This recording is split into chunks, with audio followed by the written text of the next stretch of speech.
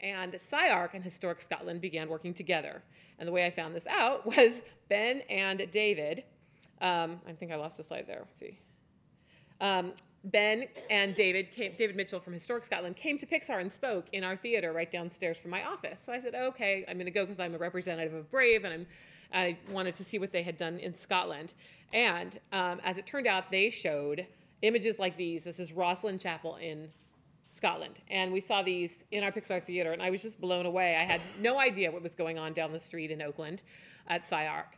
When I saw what they were doing in Scotland, I was really reminded of the crumbling churches and ruins in Armenia, ancient sites all falling into huge disrepair.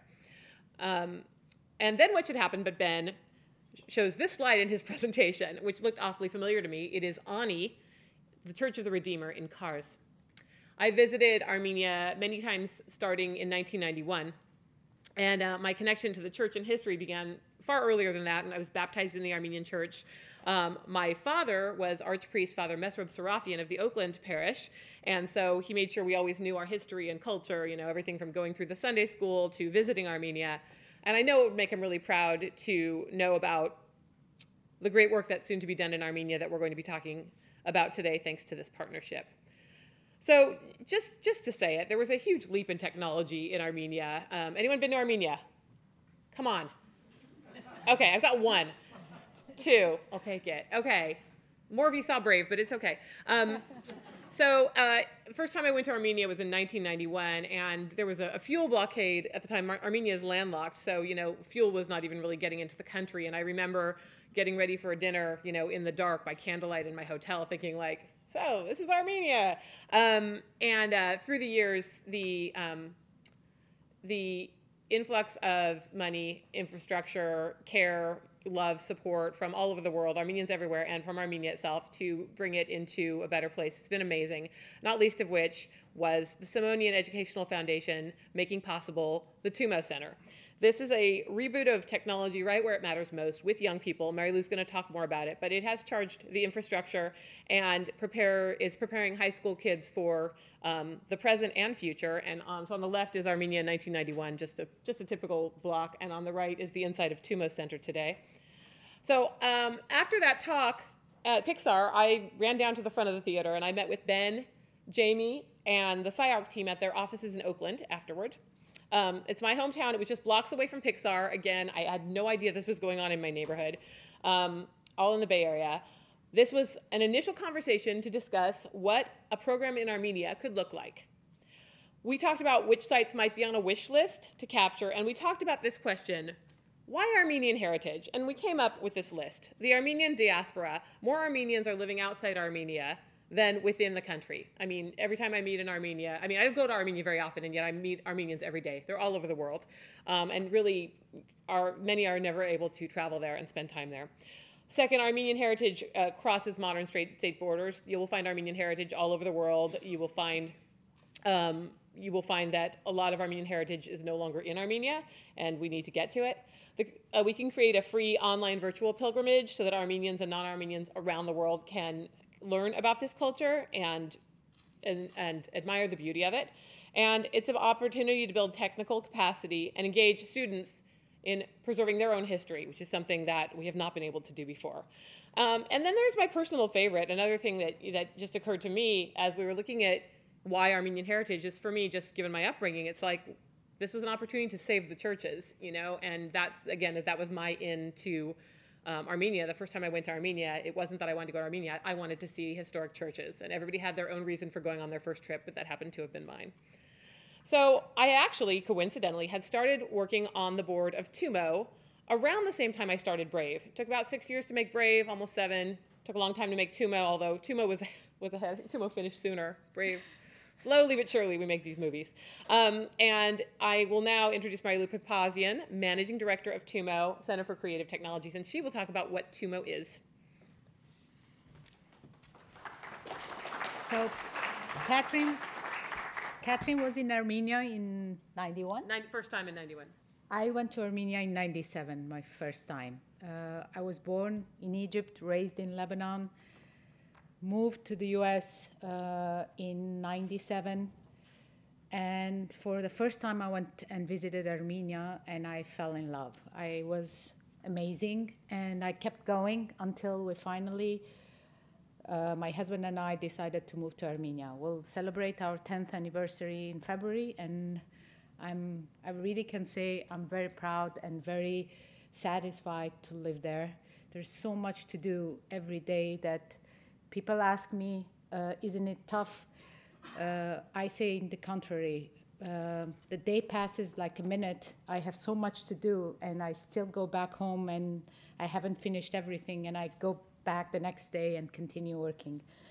Has been, but I was very lucky because I met Sam Simonian, the founder of Tumo Center, and um, and then I met the board members, and uh, we started imagining this space.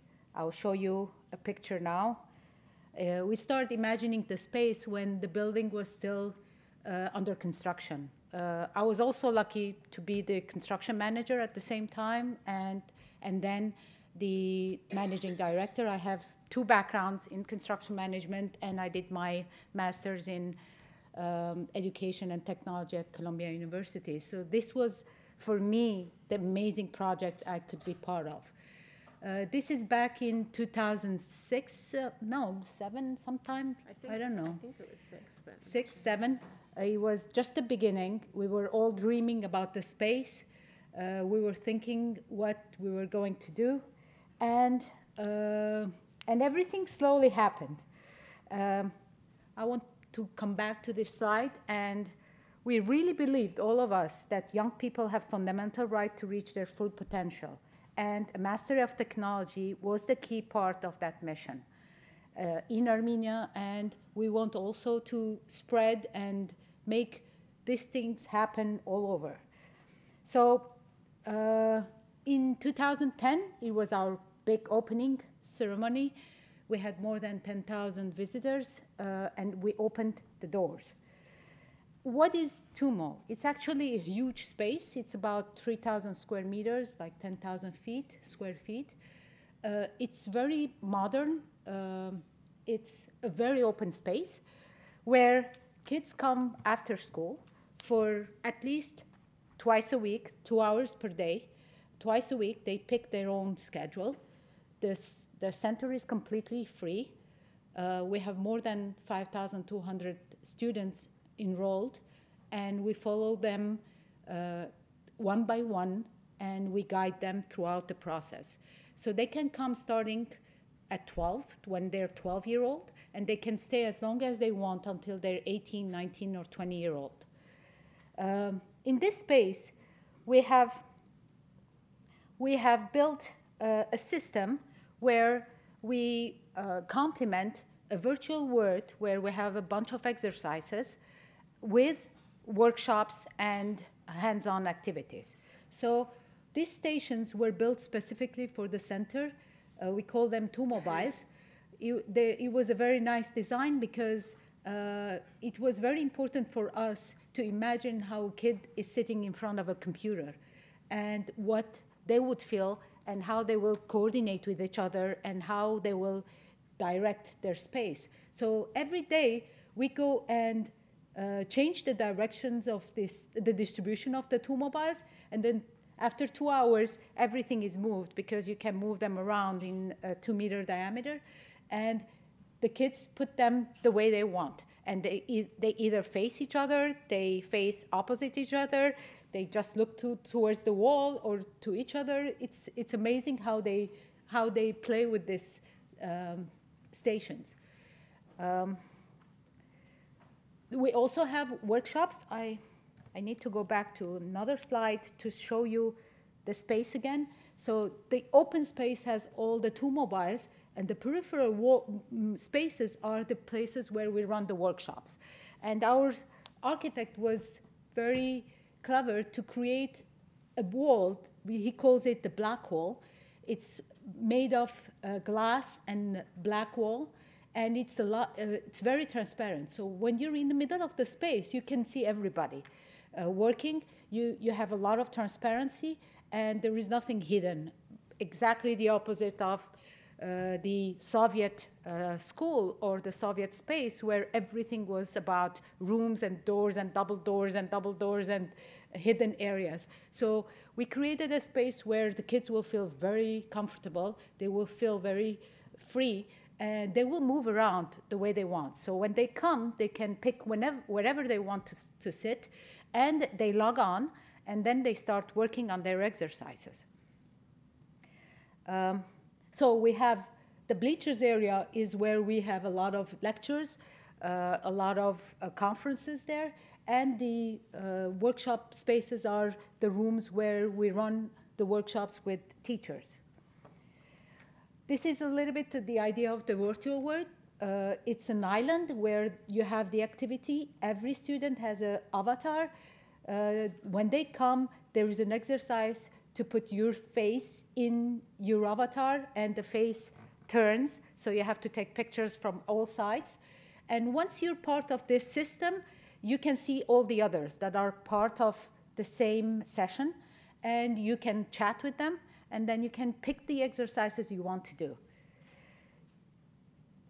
Uh, you have a learning plan where you upload all the exercises you want to do, and once you have done them, you are entitled to go to a workshop. And the workshops have levels, beginner, intermediate, advanced, and project workshops.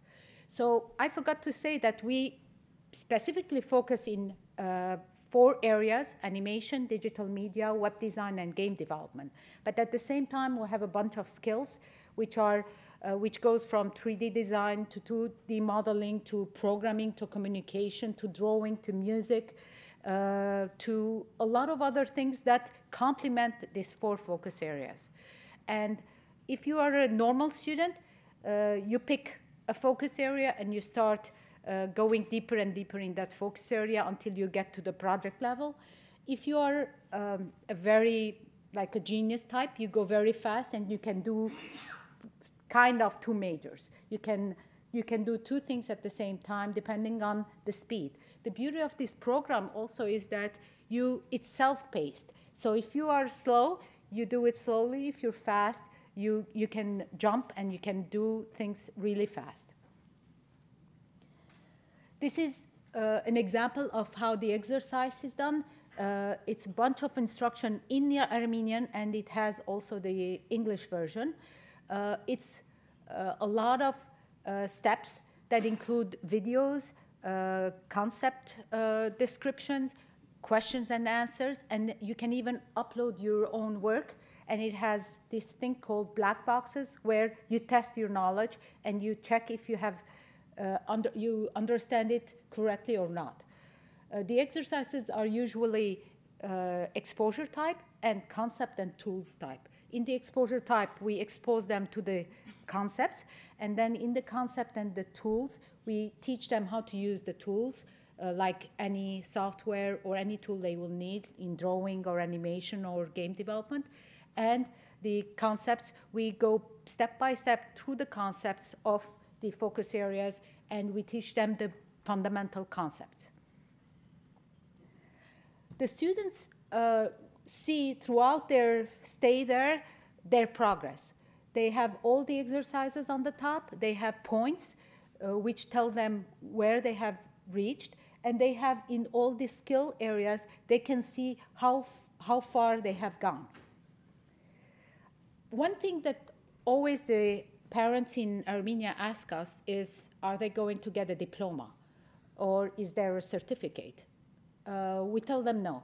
Uh, this is not about uh, a certificate or a diploma. We give them something called a living diploma, which is their portfolio from the first day that they're in, once they have uh, done their membership, they will, everything they do there is recorded. We keep the data of everything they have done, and the parents are exposed to this data from anywhere, from a website, from anywhere. They can read all the, uh, and see what their kids have done and how good they have done, and compare to others how they're doing.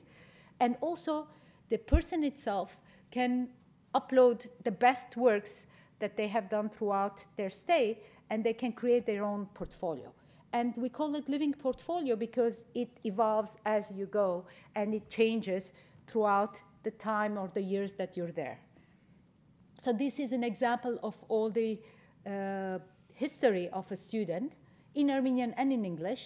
And here is a portfolio of a student showing you can click on the work and it shows you what uh, they have done so far. This, these are pictures of workshops. Uh, one of the workshops we have done was uh, 101 Fundamental of uh, Computer Science and Programming. So instead of just doing a simple loop or things like that, we, we created a simulation of the Soviet fountain we have next to us, where we had renovated it and we had put more than 350 lights. So we created a simulation of the fountain lights, and we asked them to create a, a light show for the uh, fountain. They used the simulation to understand how they're going to create the light show, and then they invited their parents to come and see the light show themselves and in real. So they worked with on a simulated system, and then they, they tested it on the real thing. This is another workshop uh, of robotics. Uh, we use Lego Mindstorm, and then we go even further with more developed software. So uh, why CyArk? Armenia's teenagers, like their peers all over the world, need to be equipped for the challenges that face them today. They need to be prepared to embrace the future, but also they need to take charge of their past to fully own their heritage and cultural identity. This is a picture of Ani again. Uh, these are my kids. Uh, we went uh, to Ani twice it's in Turkey. Uh, it's on our way. We went to Mount Ararat. We climbed Mount Ararat, and on our way back, we stopped at Ani. It's an amazing site, and I believe me, I can go like 1,000 times there, and I will never be satisfied. It's it, it's called the 1,000 uh, city of 1,000 churches, uh, and it's um, it's an amazing site where there, there are so many things to discover. Uh, so those, this is on our way back uh, from Turkey. And this is Geghard. Uh, the first site that we're going to do is CyArk. You can see the beauty of this church. It's carved in stone. This is in Armenia. It's very close to us. It's like 40 minutes away from Yerevan, the capital. Uh, so we, we picked Geghard because Geghard is an amazing example of Armenian architecture uh, carved in rock, uh, has an amazing acoustics inside. Uh, it's still uh, it's still used. There are a lot of weddings uh, that uh, are done there, weddings, baptism, um, and um, and and you don't have any electricity or lighting inside, so it's natural lighting. Uh, so why are we partnering with CyArk? Uh, I think this partnership is going to be the beginning of an amazing experience and an amazing challenge to us, to all of us, uh, because it is going to complete our vision together with CyArk. It will mobilize technology, state-of-the-art technology with the 3D laser scanner, it will empower young people to literally capture their historical legacy, like Geghard, like Ani, and it will show that legacy can be safeguarded and transitioned into the future. And the fundamental lessons that TUMO students will learn by participating in this and later leading many, many other uh, many, many other experiences also and capturing our heritage, this will be the process, a long process, but I'm sure that it's going to be priceless and an amazing experience for all of us. Thank you.